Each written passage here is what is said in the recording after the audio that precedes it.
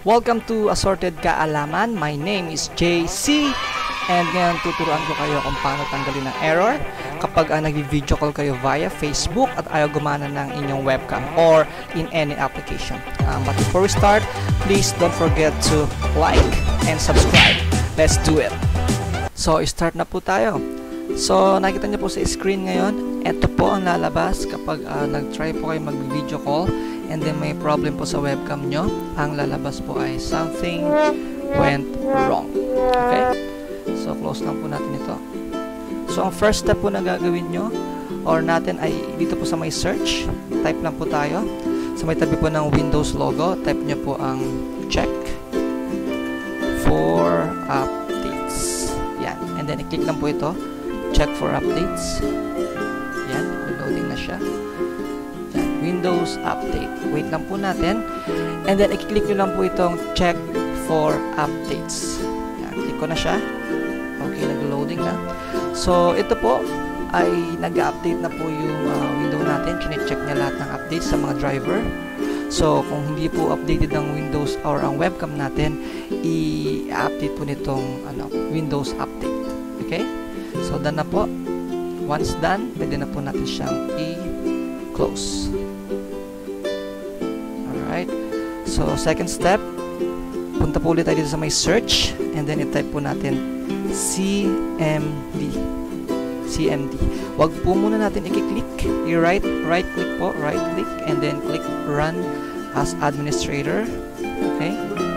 So, once lumabas na po ayan, i-type po natin dyan ang um, SFC SFC slash scan now. So, ano po ba itong SFC? So, ang meaning po ng SFC na yan ay uh, System File Checker. So, once niran po natin yan, ang gagawin po nito, i-detect po nito and i-repair uh, yung mga protected files ng Windows uh, operating system natin na na-corrupt. Okay? So, let's start na. Click lang po natin ng Enter. Ayan. Beginning System Cam, System Scan. Uh, this process will take some time. So, yan uh, may verification 3% complete. Let's wait lang po natin na maka 100% yan. And um, balikan natin sa system or Windows update just in case after po nyo mag-update or mag uh, Windows update and may error na lumabas, check nyo po yung channel ko. Meron po ako ng video na ginawa kung paano po ayusin yung uh, Windows updates error. Alright? Ayan, medyo may katagalan lang. Verification, 10% complete. Okay, let's wait. And uh, please, don't forget to like and subscribe sa channel ko po. Let's wait po natin. 50% complete.